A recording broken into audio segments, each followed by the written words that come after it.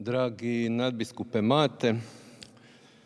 drage gledateljice i gledatelji, večeras petoga dana manifestacije Kršćansko lice kulture na petu korizmenu nedjelju na programu je koncert iz sakralne glazbe renesanse i baroka kojega će izvesti Horn and Percussion Quintet Dubrovačkog simfonijskog orkestra kojega čine Džemal Cakić, truba, kornet, flugelhorn, Toni Kursar rog, Martin Hrčan rog, Damir Butigan eufonium i Karmen Perbitić ksilofon, odnosno glockenspiel. Zahvaljujući gosparu Damiru Milatu, ravnatelju Dubrovačkog simfonijskog orkestra i našim cijenjenim umjetnicima iz orkestra, želio bih istaknuti ono zbog čega smo u Vijeću za kulturu i znanost Dubrovačke biskupije posebno radosni i zahvalni, a to je jako dobra suradnja s mnogim kulturnim i umjetničkim ustanovama i pojedincima u našem gradu i biskupiji, među kojima se posebno izdvaja Dubrovački simfonijski orkestar. U predvečerju tjedna kojim se približavamo cvjetnici nedjelji muke gospodnje i liturgijski najsnažnijem dijelu crkvene godine, velikom tjednu, u našem hodu prema uskrsu osluhnimo i doživimo ljepotu sakralnih glazbenih ostvarenja Palestrine, Gabrielija i Johana Sebastijana Baha, koju će nam prenijeti naši umjetnici.